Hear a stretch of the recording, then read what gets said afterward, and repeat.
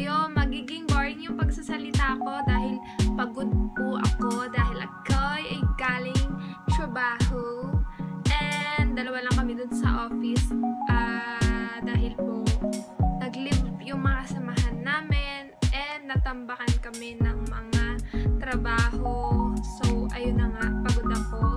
Kaya nasa inyo na po kung maboboringan kayo sa pagsalita ko.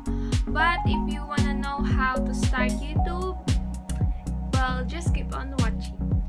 So, may nag-request sa akin, may nag-chat sa akin sa Facebook si Ate Marie Chomson na gumawa daw ako ng how to start YouTube.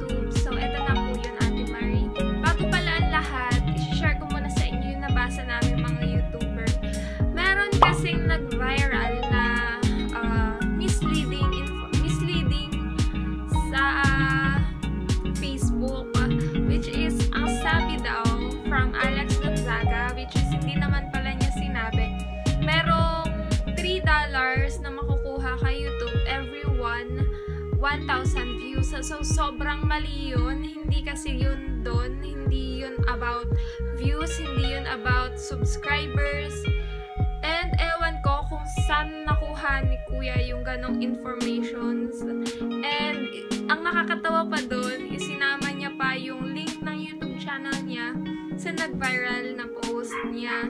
So, hindi naman nag-grow yung channel niya kasi ewan ko, sobrang daming nainis na YouTuber information na pinakalat niya. Ay, bag pala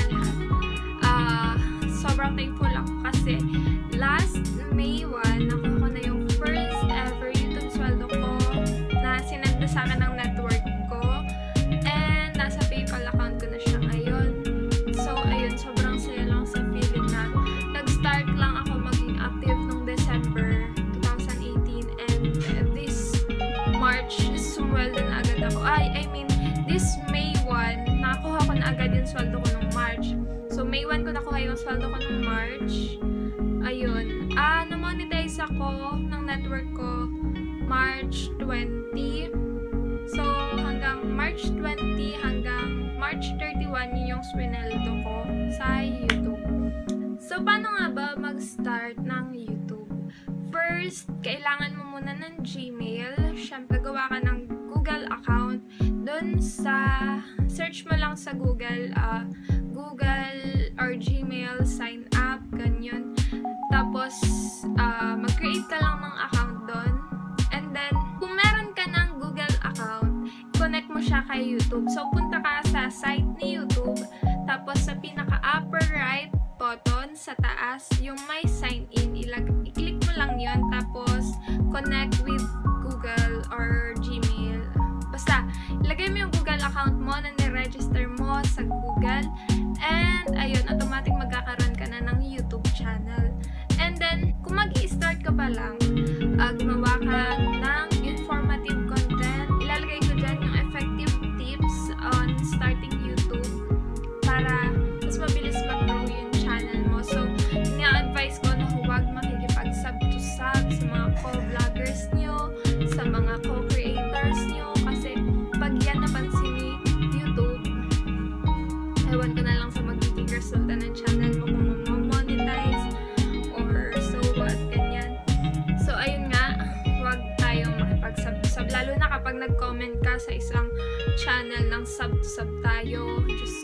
maban ka lang ni YouTube. Kasi nasa policies na yan ni YouTube. Kung mababasa nyo, ayun, nasa policy ni YouTube na huwag makipag-sub-to-sub. And, ayun na nga, saan na tayo? So, ayun na, kapag gagawa ka ng content, be creative, be informative, yung papupukaw lahat ng atensyon ng tao or di kaya gumawa ka ng kalokohan, katarantaduhan, yun.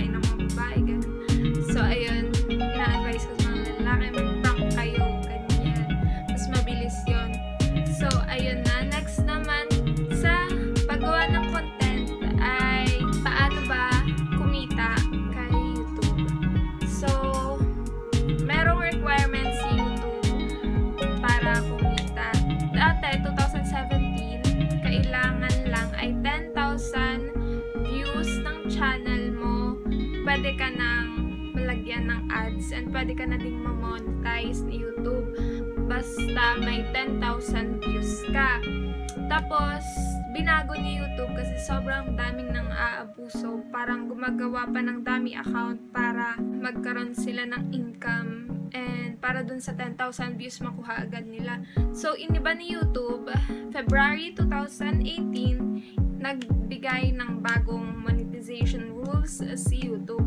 So, ginawa niyang 1,000 subscribers tsaka 4,000 watch hours. Yung 4,000 watch hours na yun ay equivalent sa 240,000 minutes of watch time in minutes. So, sobrang haba, sobrang laki, sobrang nakaka-stress.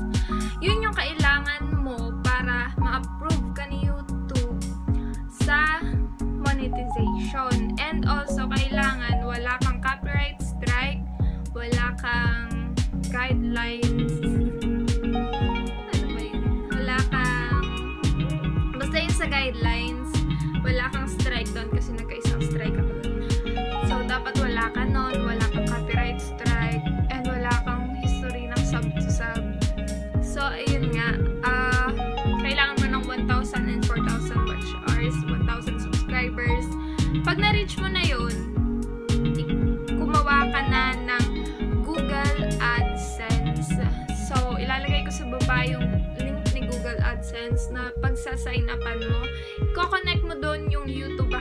Ilal, uh, i-ask ni Google AdSense yung um, yung link ng YouTube mo and ayun, ipipaste mo lang kay Google AdSense. So, kapag kapag na-approve ka na sa monetization, lalagyan na ni AdSense or ni YouTube yung mga videos mo na advertiser friendly na mga ads.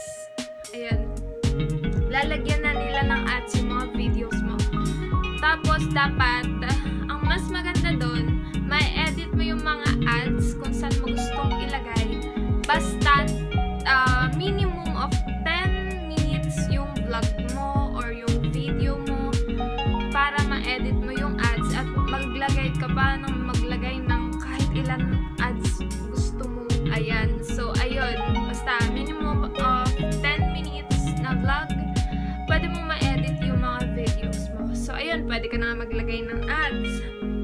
Tapos, next naman ay dun nakikita yung videos mo.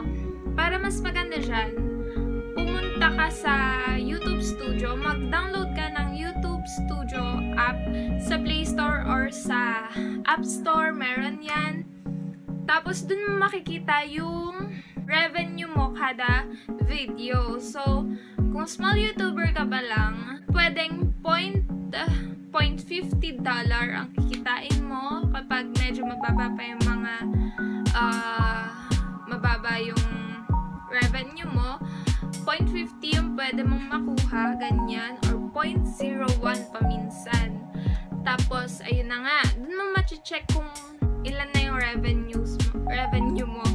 So, ayun, YouTube Studio app. Tapos, makikita mo rin kay Google AdSense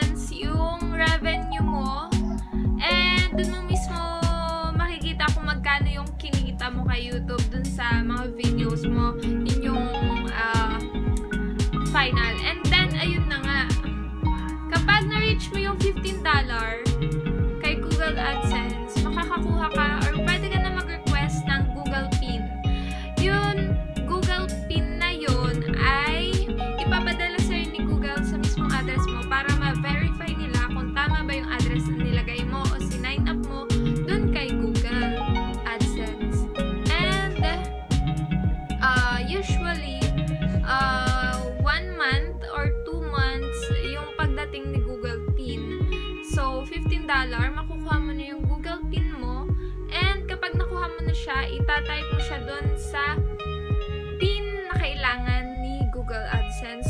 kasi hindi ako dumaan dito. May merong may hawak sa akin and sila yung nagpapasweldo sa akin. So, after nung pagkuha mo ng Google PIN, mag uh, mag-earn ka pa ng mag-earn kasi $100 yung minimum na threshold threshold nila, yung threshold ni Google AdSense para makuha mo yung sweldo mo. So, ako kasi, hindi ko na kailangan i-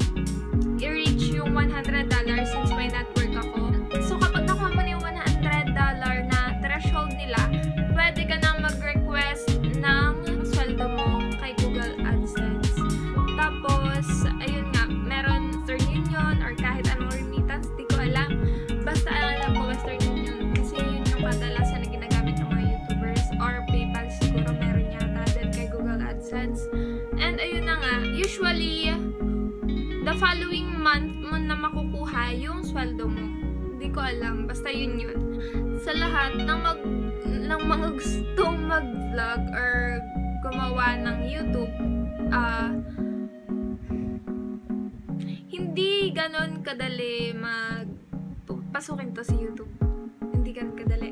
Kasi, ah mag-edit 2 hours, mag-vlog, sobrang cringing vlog. Ah, minsan, 10 minutes, ganyan. Pag pamali-mali pa, tapos pag nabubulol ka pa, ah, uulitin mo na naman, ganyan. Hindi ganon kadali. Ah, patience, tapos, tiyaga lang, patient.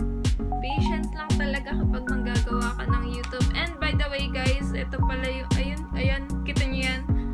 Yan yung mga sponsorships ko.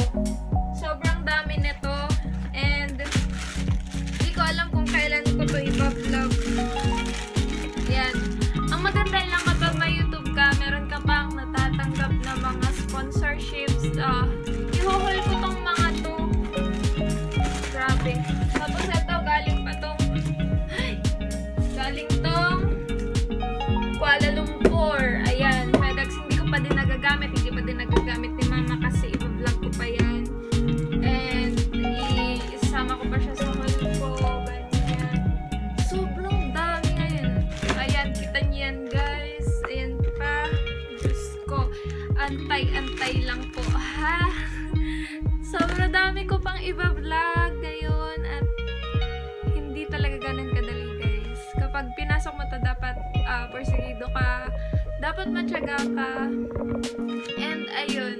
Pero sana ma-inspire ko kayo na since ganito lang ako, ay nagsasweldo na din ako. Ay, shit. Nagsasweldo na din ako. And kung gusto niyo talaga, pwede kayo mag-seek ah, ng advice sa akin or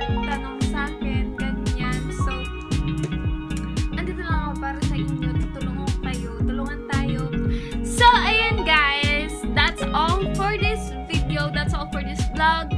If you like this video, don't forget to click the big thumbs up below and hit the notification bell and mag-comment ka ng mga suggestions mo, video suggestions, o kaya magtanong ka sa akin about YouTube. Handa akong